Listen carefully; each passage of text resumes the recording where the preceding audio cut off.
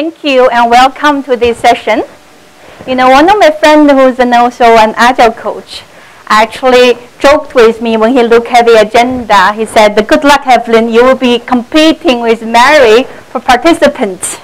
And he said that one of his experience was that uh, he was in a five-track conference and uh, he had only three participants. So uh, then he said, he said the very thorough uh, discussion with the three participants, he also liked it very much. So before I came, I was psychologically ready to have around three to five. So I'm so happy to see all of you are here. So a big thank you. And today I'll be presenting building the agile mindset, where to start.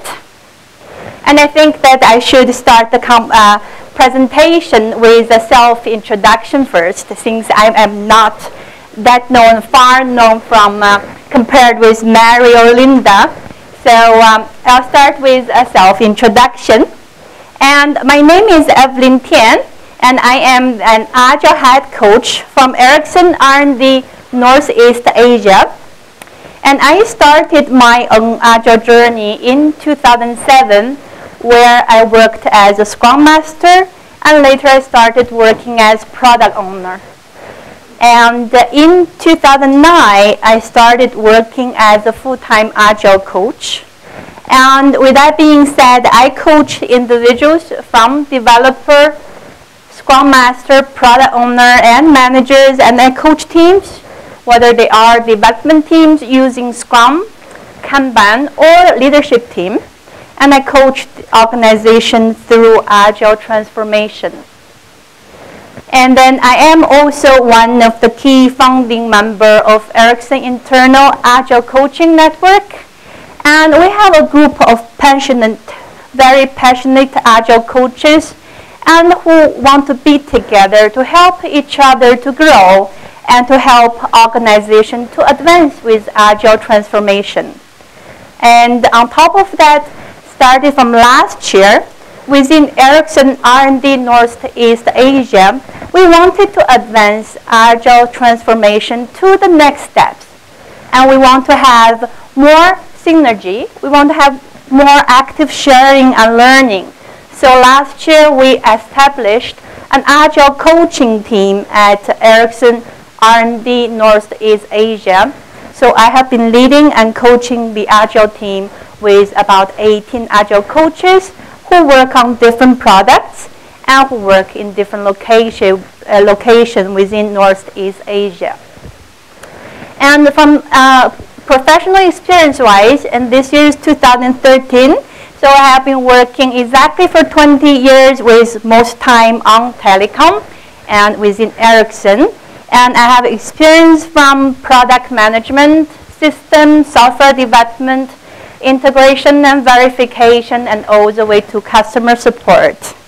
And uh, from product perspective, for those who might be working on telecom, I work on core, products, radio products, and also multimedia products. So if I use a very trendy word, I could say in a way I'm cross-functional in the telecom field. yeah. So in addition to that, I'm a certified Scrum practitioner. I myself, I don't like to go for certification. And the thing is that when I want to present to different sites, even within Ericsson, sometimes people ask before I start my presentation, what certification do you have? So one of my friend and I, we joked, we said, let's try to pass the test for certified Scrum practitioner. Let's see. So I did. And uh, I'm not a certified Scrum trainer. However, I do design and deliver training sessions within Ericsson on Lean, Agile, Scrum, and Kanban, and also designed Agile leadership training curriculum. And more than hundreds of managers within Ericsson took my uh, Agile leadership curriculum, and the feedback has been very positive. And uh, in, because I have very strong interests in Agile leadership, I'm also a licensed trainer for Jürgen Appelo's Management 3.0. So some of you might have read his book, Management 3.0. And I am very passionate in helping individual teams and organizations And I draw a lot of satisfaction when I see them improve. And that was actually one of the main reasons that I decided to switch from technical path to agile coaching back in 2009. And to make a bigger difference, I also try to advance myself by acquiring additional coaching skills. So I'm a, a certified master coach who specializes in behavior-based coaching. And uh, some on the personal side, I'm a Chinese Canadian, and I was born in China and then studied and worked in Canada. I just moved to work in China about three and a half years ago. So when we're looking at the agenda, I wasn't sure whether it should be a Canadian flag or a Chinese flag that's you know on the agenda. But that's me. So that's so much about me. And today I would like to share with you my experience as an agile coach and also one of the tools that we developed within Ericsson by a few agile coaches like me to help individual, team, and organization to continuously improve. And first, before I start, I will do a quick introduction to the product that th this is the first product that I worked as an agile coach for back in 2009. And I would like to speak about the scale of the change that we're looking at. And certainly, you know, I work in Ericsson, so it's a telecom product. And we had at that time over 2,000 employees and to make things more complicated, of course, you know, a multinational company like Ericsson, not everybody is on the same site. So people are located across seven different countries. And then in terms of lines of code, and we're looking at 40 million lines of code. So that's how big our product is. And uh, in terms of either you speak about components or blocks, we have 1,735 blocks slash components. And then in terms of that,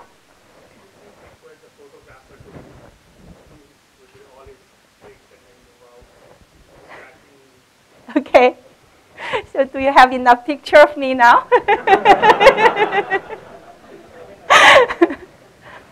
okay, so let's carry on. So in terms of product, uh, product documents, we have 15,000 and more product documents for the product. And on top of everything else, uh, it's a very process-oriented way of working we have been looking at. And as you know, not because I work in Ericsson, and Ericsson is indeed a very good company. So with that being said, we have very good people retention. So we have seven different cultures to work with, and we have people who have been working with very, in a way, rigid process, in a way, for the longest time. So it wasn't the easiest journey as you could feel.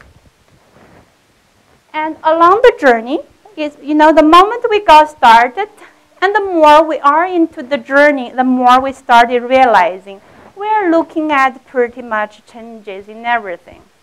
So it's not only about the developers.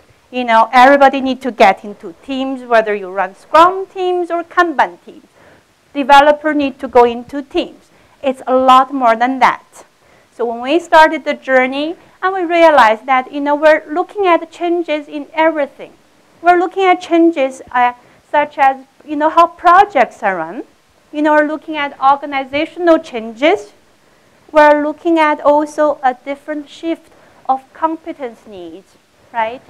And you know, we're looking at much lighter weight processes, and we're looking at a lot of new tools, right?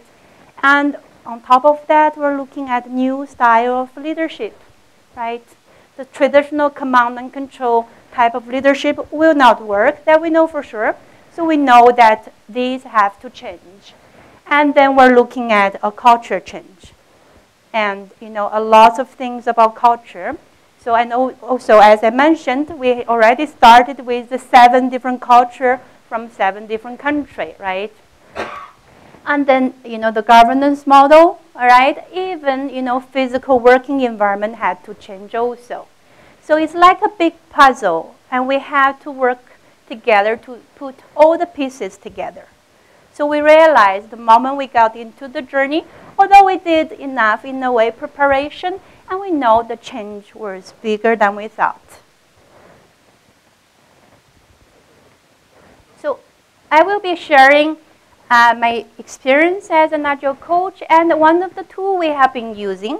And the purpose of sharing is to convey some messages on top of the fact that you know we have this tool potentially could borrow the idea and the concept, and also some of the key messages that I, I would like to convey to you. And the first one is that we should focus on thoughts, on feelings and values to achieve greater results. You know, telling people what to do may not be the best thing, particularly with agile transformation.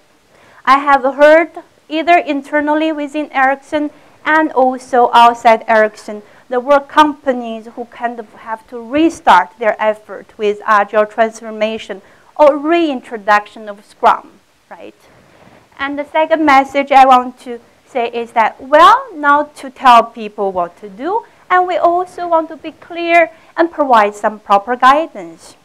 Because we know that you know, once people have started in getting interested with lean and agile transformation, they're motivated, they're passionate, and we want them to avoid going into frustration mode, right? So we want to give some proper guidance. And then we want to have continuous reflection and continuous uh, improvement, which is really the key to success. And then, of course, start being agile today if you have been actually focusing only on methods and practices and today is probably a good day for you to start thinking about being agile. So start being agile today. So, you know, a couple years ago, one of our top manager, you know, we are head office in Sweden. So one of the head top management manager asked me, you know, Evelyn, I have this trouble. That he moved to a new organization that has over 10,000 people. And when he arrived in his new position, then he asked his leadership team, and uh, are you guys agile? Then he got this uniformed and consistent answer from everybody on his, on his leadership team. Yes, everybody is agile, right? And then we see that very often. You know, as an agile coach, and I travel from different sites, you know, from different organization to another, and when we ask people, how agile are you? You know, the answer is always very, very consistent. Everybody is agile. At least they think they are. And however, then the question we could ask ourselves is that, does it mean that if you have your daily meeting standing up, then you have a meeting named retrospective? Does that mean that you are agile already? You know, does it mean that as a manager, if you see everybody reporting to you or working in teams, is that just a sign that everybody is already agile? You could take a break. You know, and one of the boss that I have back in Sweden, then he asked me, Evelyn, I give you an action that I would like you to help one of my organization to improve on their agile coaching and then I gladly took that action. I started first to contact with the, you know, the organization. And then through a video conference session, they told me, Evelyn, we don't really know what you're talking about. If you want to come here, we welcome you. However, we're done with Agile. We were done some 12, 18 months ago. We have everybody working in teams now. So that is it's a sign also that people's understanding, you know, of agile is rather different. And we really need to focus more on really exactly what agile is. And so question here, does agile really have a clear start and clear finish? So if you look at the map, of course, it starts from Sweden, right? That's where our head office is. And does it mean they start from Sweden and somehow it just ends in China or somewhere else, right? Does Agile have a clear start and finish? And the thing is that it does not. However, experience told me that a lot of think, a lot of people think it does. If I give you an example, back in 2009, when I started working on the product that showed you with over 2,000 employees, we started some pilot teams. So I was coaching three pilot teams. So after three sprints, we have this uh, big workshop together with all three teams together just to have some reflections to see how we are doing in general as a team, you know, as for the purpose of piloting, right? So normally in China, and if you have not attended any of the Chinese workshop, and normally a session as such starts with some soft drinks and potato chips. So after about 10 minutes, you know, people were eating and chatting, and there was a guy who got selected in a way as a spokesperson. And then he said, you know, Evelyn, we all like you. You're a very nice person, very helpful, and we would like to help you. So I said, sure, you know, how, could, how, how would you guys like to help me? Then he said that we're wondering whether you have a, an Excel file that contains a list of things that you would like us to accomplish, that we will check it off, we'll do it for you. You know, that was the mindset people have when we got started. You they really think that, you know, there is a list of actions that they need to, come, uh, you know, to finish, to complete, and then we're done with the agile journey.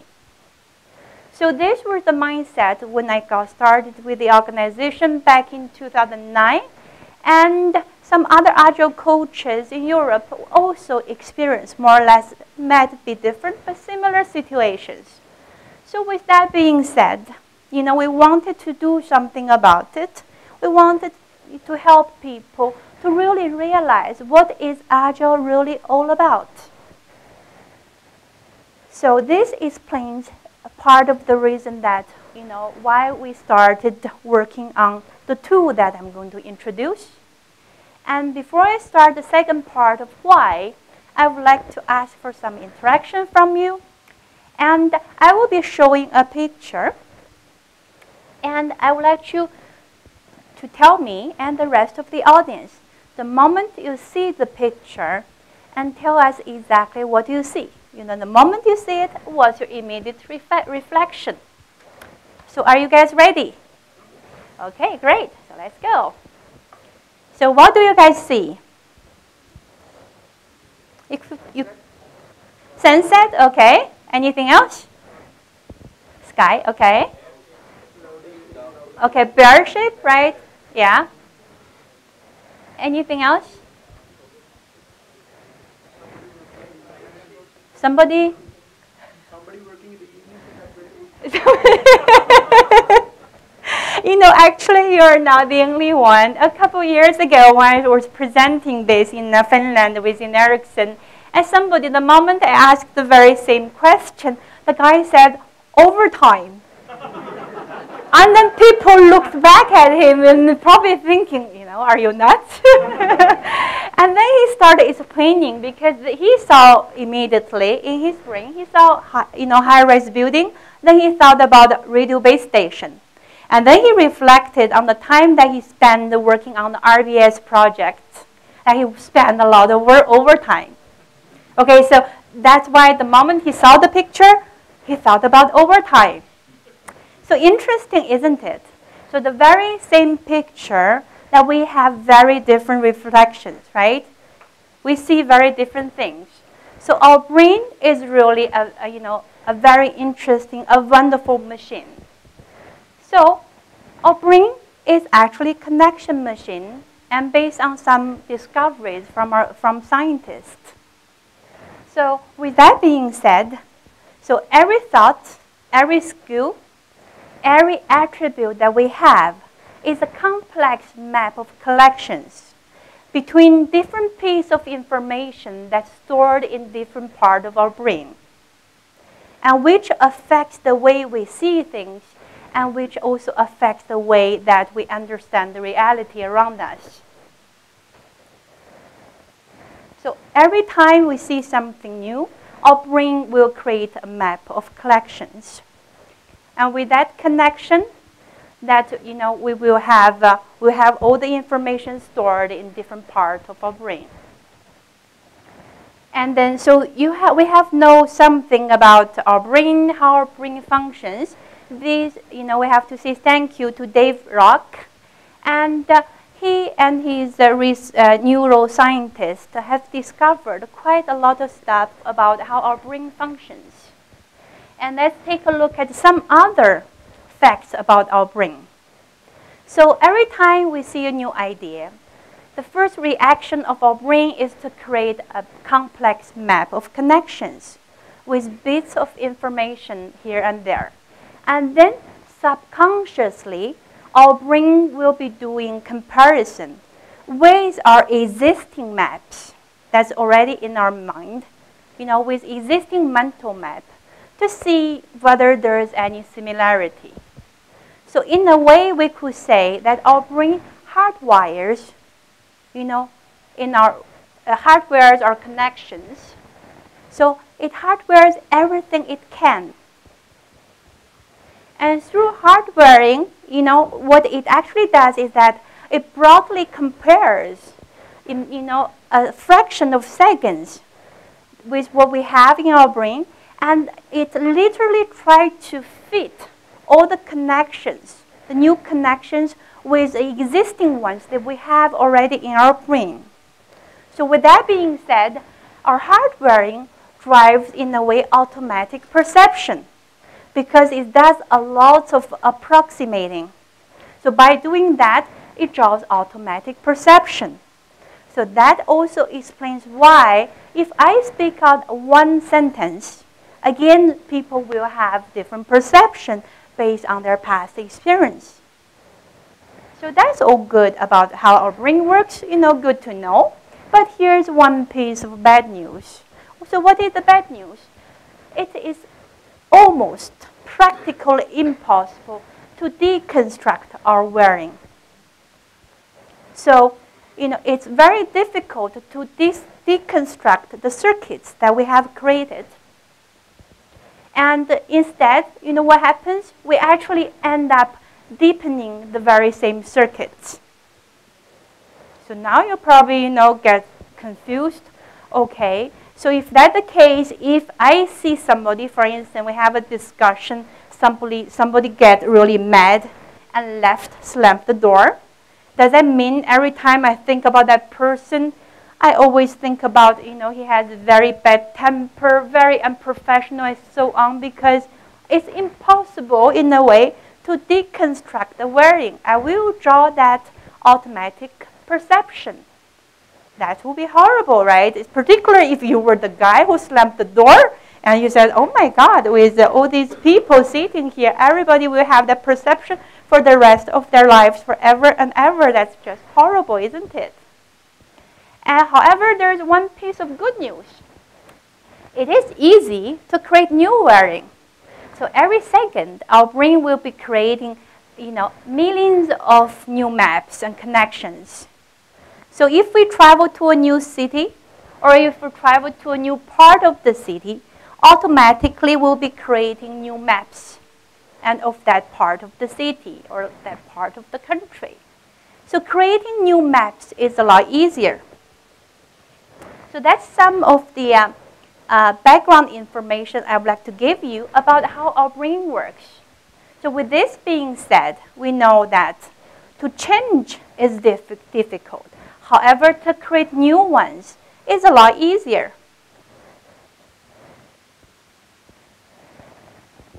We have probably all seen this, right? That's the iceberg model, right?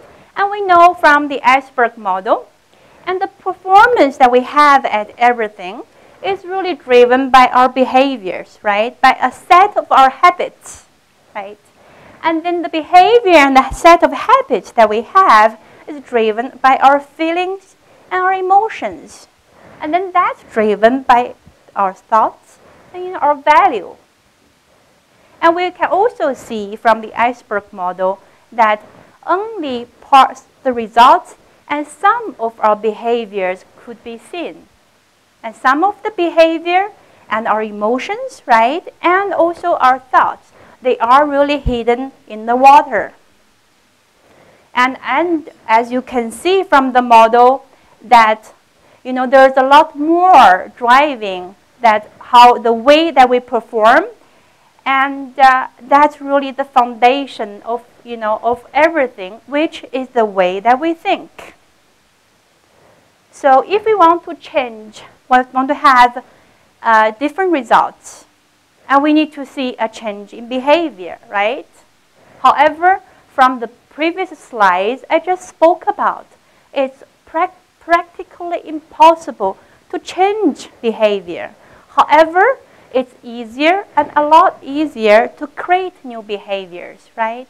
So we want to create new behaviors so that we could see new results and new performance.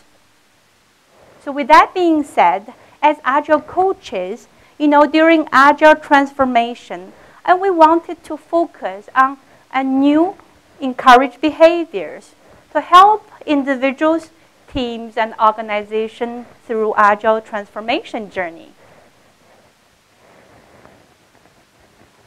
And I have a question for you now. It's an interactive session, okay? And uh, this is Albert Einstein, exactly. And he has a very famous quote about the definition of insanity.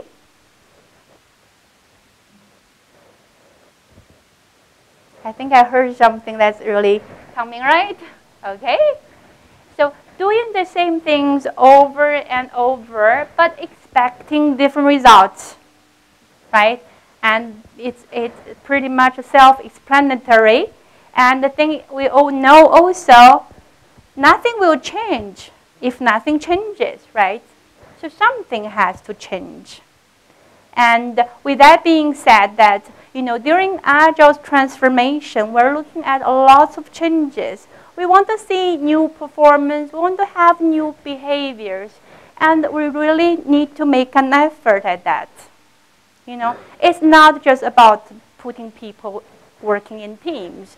It's not about you know having everybody running for daily stand-up meeting or retrospective session. You know, particularly in China, just have soft drinks and potato chips, and we're done because we already had a meeting named retrospective. It is a lot more than that, right? And here is a nice metaphor that I really like. And as you can see from the reference, it's called High Performing Tree and by Lyssa Adkins, and who wrote the book on coaching agile teams. I really like the tree, so I borrowed it. And this is the high performing tree. As you can see, that the root is really the value that we should focus on. And then we have the leaves, which are high performance, which are, you know, different practices. And with that being said, we want to focus on the root. The stronger the roots are, and we know the bigger the tree is. And if we give them enough sun and water, right, and then we will have fruit. And the fruit will be high performing team, high performing behaviors. So with that being said, that you know we want our teams and individuals to have high performing, you know, going to that state. And from what we have explained for the past slides, and we really want them to have new behaviors, to understand what is the new behavior, and at the same time also focusing on the value. You know, what is the value, what is the principle that we should be focusing on. So that's the thought we have, you know, as agile coaches, we started designing our tool. And in a way, we want to have a tool, you know, and we don't have a tool as, a, you know, a role description document. That a lot of people, when they started the agile transformation journey, they will ask, Evelyn, do you have a role description? And what are the uh, list of expectations do you have on us, right? And we don't have, want to do that. And instead, we want to have active learning from individual level to team level and to organization. And then we want to continuously learn from our successes and also from our failures, right? So then you probably say, you know, that's easy, right? We have Agile Manifesto, then we have Agile Principles. The last Agile Principle says that we need to do retrospective. And we know that it's always easier to say, and it may not be that easy to do, right? And how effective is your retrospective session? And how much learning do you have from each retrospective session? do you really have a continuous improving trend that's already uh, in your team or in your organization? These are some of the questions you could ask yourself.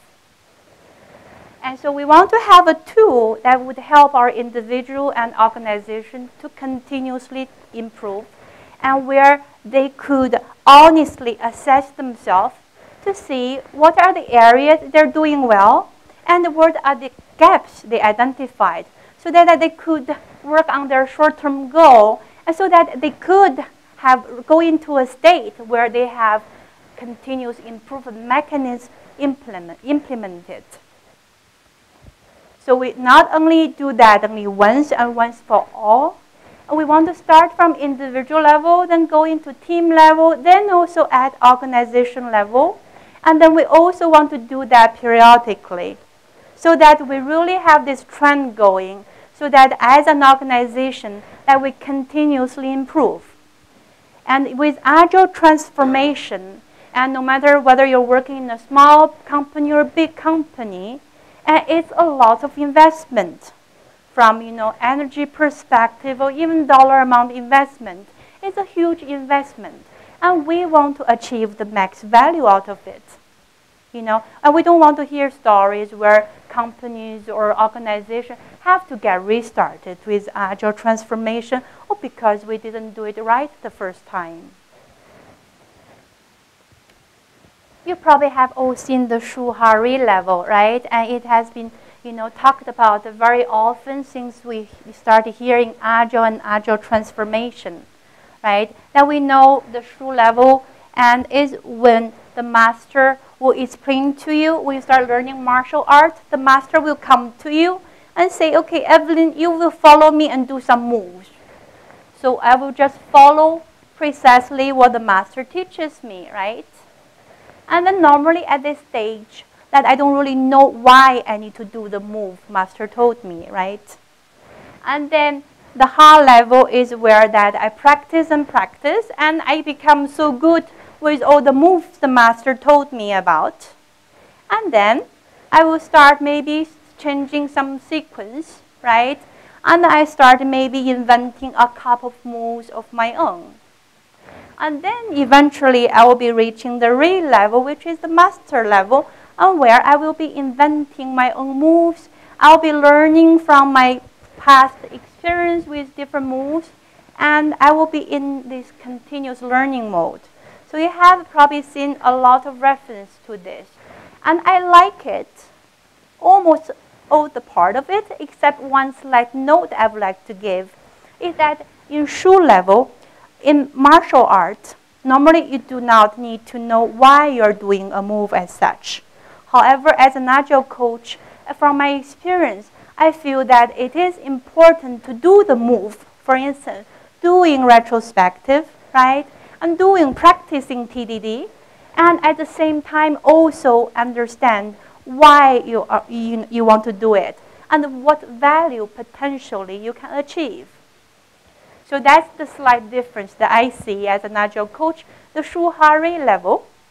And we want to have a tool to help individuals and teams and organizations, no matter they're in Shu level or not, you know, that's when they are really getting started with agile transformation.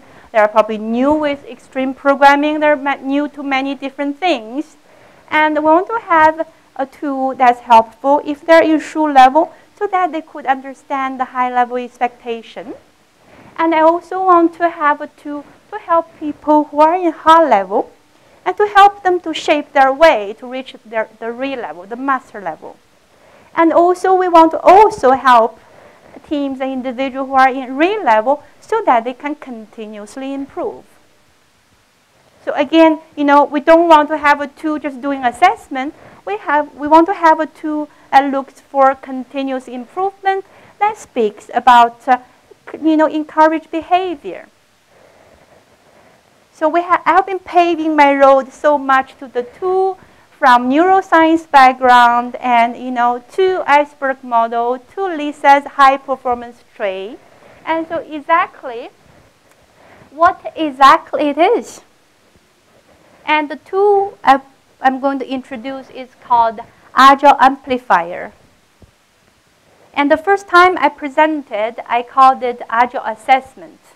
Then I have this feedback door, you know, outside the conference room. Then there was one feedback and said, you know, with a very unhappy face. And the note was that uh, I really like the content, but the moment I hear the word, I see the word assessment, it made my head spin. So, okay, and you know, I like to receive feedback so I can continuously improve. It bothers me a bit uh, at night. I kept thinking. The next morning I woke up and I saw this, you know, in the hotel you have the, uh, uh, the, the, the mirror, right? I look into it, I say, okay, amplifier would be a good name.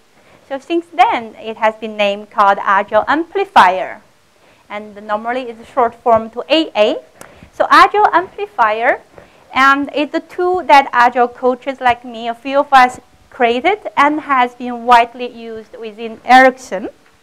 And it's used in, of course, Northeast Asia, right? That's where I'm Agile head coach for. And it's also used in North America. It's used in Europe from, say, Spain, Croatia, and Germany, Greece, and Italy, Finland, and of course, Sweden. So it's used by different organizations across the world within Ericsson. And uh, so far, the feedback has been very positive. And uh, so the next part, I will start talking about how exactly that we use it within Ericsson. So we borrowed the concept from planning poker cards, right? So we call this AA poker cards. So Agile Amplifier poker cards. And so we only have the value of 0, 1, 2, 3, and 4. And so normally how we use it in a way is similar to how teams are using planning poker. And the whole purpose is to trigger discussion. So if a few of us working on one team, and we're, you know, doing our Agile Amplifier session, and we would use it very similar as if we're using planning poker cards. We will take a look at the content of the Agile Amplifier, and then we'll start, you know, giving a, a score. And then we have them all face down, and then we everybody's ready, we flip the card the value, the numer numeric value we're looking at is not important.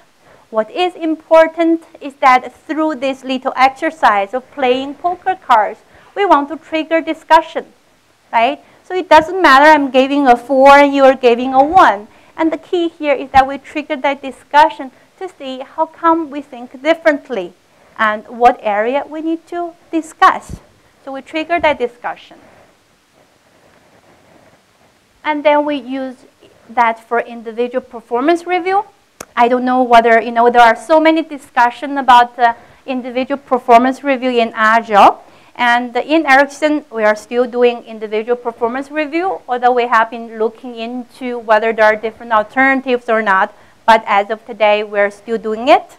So uh, managers, a lot of managers are using it for as a tool for individual performance review. So what we do is that you know individual developer will look at the Agile amplifier content for them, and they take a look and they you know start assessing themselves and identify the area they think that they need to improve. And they will come to the individual performance review session with their manager, and they will sit down together. They will compare notes, and they will, at in the end, agree on the area for improvement, and also they will discuss it in details as to what activities, what actions they, they're looking at. And then that will then be documented as part of their goal, part of the employee's goal in their APM review. And so far, the feedback on this is very good because if the developer is a very junior developer, and doing such a session help him understand and all the high level expectation on them. And if the developer, you know, the individual is a very senior resource, and they will understand more the expectation on them because then they look into the value, looking the roots a lot more than junior developers. And then they started taking the lead and started making a lot of influence in the organization. So that's one way we use it for individual performance review. And then we also use it for individual coaching plan for managers. So managers are doing that with their manager, you know, first line managers doing that with second line manager, and then vice versa, you know. And they also oh, second line will go to their boss oh, also to do their session so they understand, you know, what is their, their area for improvement with our today's way of working. And then we use that for retrospective session. So teams will use this Agile Amplifier as a tool. They look at the Agile Amplifier content for teams. And they will reflect together as a team. And the most important part for this is that you know, we need to have a good Scrum Master, an Agile coach there. Because I have been sitting into many sessions. And you know, the, these sessions are so interesting that I could stay here for another two hours telling you about it. And there were sessions when in the teams, every member look at the content, they believe, everybody believe they are already at three or four. Remember I said it's not important the numeric value is, what's important is really the, the content, right? What area of improvement they identified. And there were sessions where I sat in and team believed they're just doing great. And this particularly, you know, happens when the team just gets started. And they look, take a look at it without really understanding the value that much. They believe, oh, it's like, a, you know, a yes and no. They believe they're doing everything. And this is the time that Scrum Masters or Agile Coach need to help them to understand and identify the area for improvement, for them to realize, you know, what are the areas they could potentially, you know, improve. So we normally do this every quarterly. You know, every quarter we would do such a session for our teams. And remember I told you the numeric number, the value is not important. However, we do keep track of the number. And that number, I only I have it. I have it, I see all the teams. For instance, in Shanghai, I have 57 teams. In Beijing, I have even more. What I do is that I see the trend. I look at the trend to see whether our teams are continuously improving or not in general. You know, I'm not tracking one particular team. I'm tracking at organizational level to see whether there's any organizational impediment or not. And that's the, if there is, you know, there were, there were one occasion, if for Q, Q1 it was on the improving trend, and Q2 it went down sharply. Now I looked into it and to see what could potentially be the problem. Then I take it with the leadership team to see from organizational perspective, what are the things that we could do to improve, to help our teams. So that's another way to use it. And, you know, these are some uh, ways we use it. And here's one more for workshop. You know, when we first get started with Agile transformation journey, we have all the new roles, right? We have Scrum Masters, Product Owners, and managers not knowing exactly where to be, right? Managers not knowing, you know, should I be, get close to the team? You, we normally hear the term management by walking around or gemba, the Japanese word, you know, really need to go there and see. And some managers really felt hesitant whether they should get closer or going further, right? Because you also want the team to feel empowered. And so with that being said, we have all these new things to look at. So we have we, we call for workshops where we have all different roles sitting together. And we could run it in two ways. One way is that if you are working as Scrum Master, you will look at the content for Scrum Master and then you trigger discussion with product owner and manager and team. Or it also facilitated session where we would have managers taking a different role. For instance, manager would taking the role of Scrum Master so that you put yourself in other people's shoes. you see things from a different perspective. So that the whole purpose of the workshop is to make sure that we have better collaboration. We understand more, we have better uh, collaboration.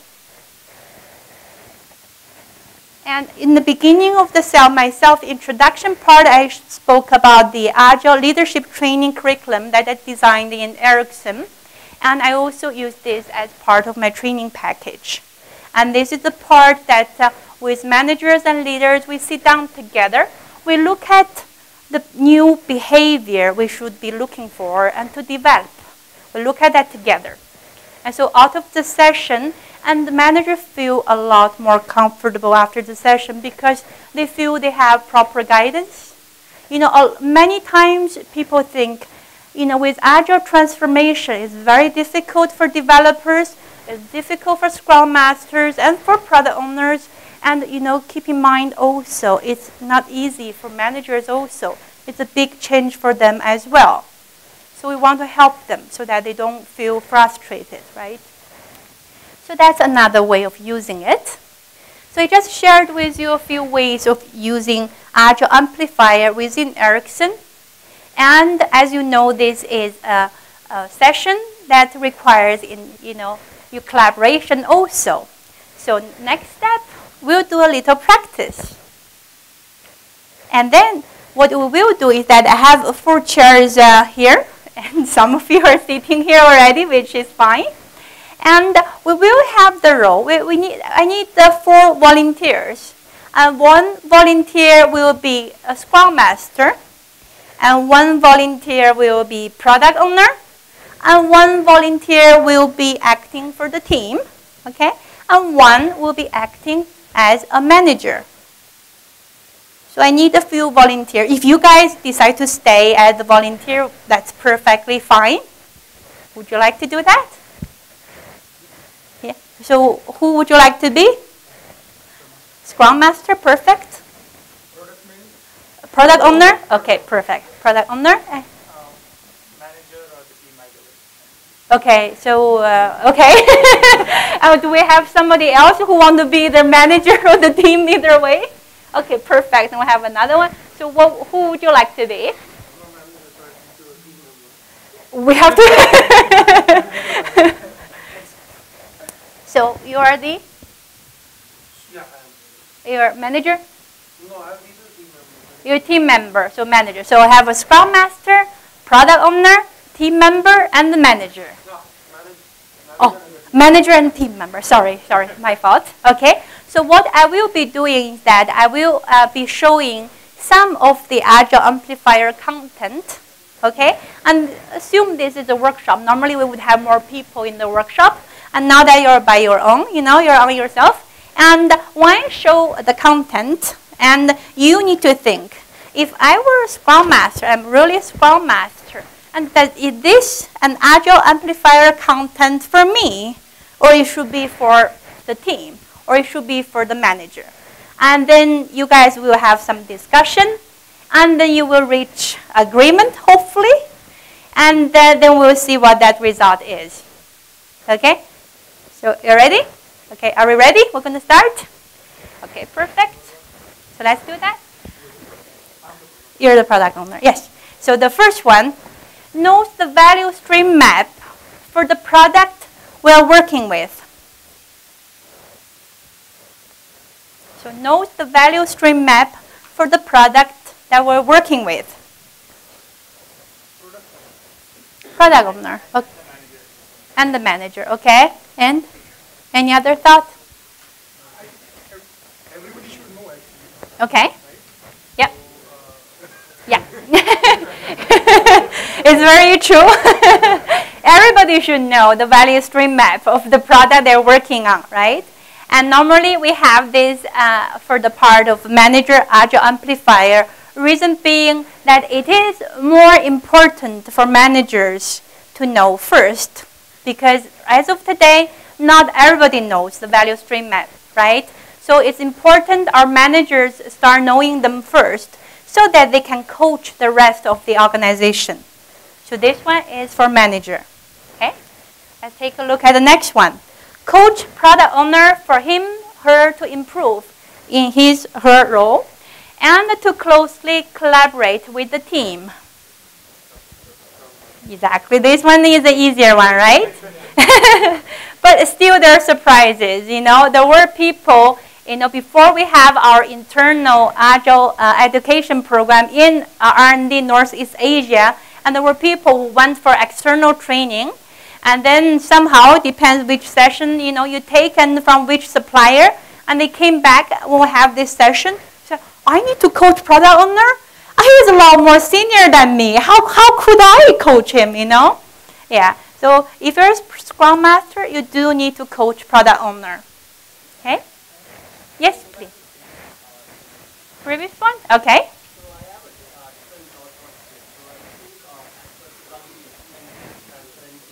Yes. Yes.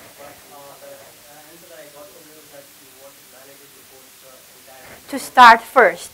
Because today, as of today, the situation is that a lot of managers have very narrow, narrow view on the product. So they should be the first one to know value stream map of the product. And then the team, product owner, and scrum master, everybody in the organization should uplift themselves to know the bigger picture. It's just that, you know, given the current environment, the uh, managers need to start first.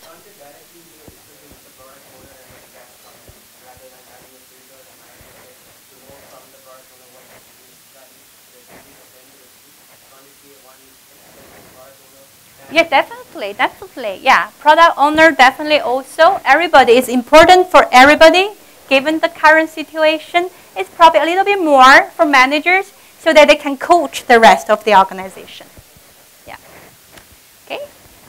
And the next one, help the team to see their conflicts and to choose what to do about them. Scrum Master. Okay, that's the easy one. Next one understand the technical debt of their product and also technical debt is decreasing. Team member, exactly, yeah. So that's team member. Let's do one more before we move on. Actively seek information and analyze how the product feature, minimum marketable feature, epic user story provides value to the customer? Everybody, okay. so, product owner, are you guys in agreement? Product owner, and what about the rest of the audience? Do you guys agree? They said product owner. Team. Okay. Normally, you know, in Chinese we have a saying, we say two heads are better than one. Now we have, I don't know, I can count, but so I think the audience made a, a better uh, choice. It should be the team. Because we know the product owner will elicit requirements, right, with stakeholders, with customer. And then it's important also, team started looking at the value chain. I started asking, you know, what is the business value of what we're working on, uh, with the, you know, about the backlog content and so on. So that's some of the example of the Agile amplifier. And due to time constraints, that uh, will not continue with our little workshop. And so let's take a look at the uh, key messages that I want to bring. And so the key messages, as I started with uh, at the beginning of the session, so really focus on thoughts, value, and feelings to achieve great results. You know, just don't just do it without knowing why you're doing it. And then be clear and provide proper guidance. You definitely don't want to have people feeling frustrated. You make sure people are having fun. You know, one of the agile coach I met from one of the conference, then he said he used the bar to measure whether things are running right or not. The first question he has is, are you guys having fun? If you guys are not, then there is probably something wrong with it. So with that being said, that you know, be clear and give proper guidance so that people don't feel frustrated. And then the key to success is really continuous reflecting and continuously improving, right? And then start being agile today, right? Which is very important also. And then I summarize with a probably a Chinese proverb. And I'm not so sure. People told me it's the Chinese one, so I put the Chinese and I put the question mark. But what's important is the content, right? It's not the certification, it's the content. The best time to plant a tree is 20 years ago. The second best time is today. And today is a good day to start. So that pretty much concludes my session. And um, I can be contacted at my email address. And uh, I also have some of my business card on my tape on the table over here. And if you have any questions and uh, you know any want to start any discussion, feel free to write me an email. And you know it's important that we have active learning and sharing within the company and also externally outside the community of the company. So I hope you enjoyed this session and uh, good luck with Agile transformation and have fun. Thank you.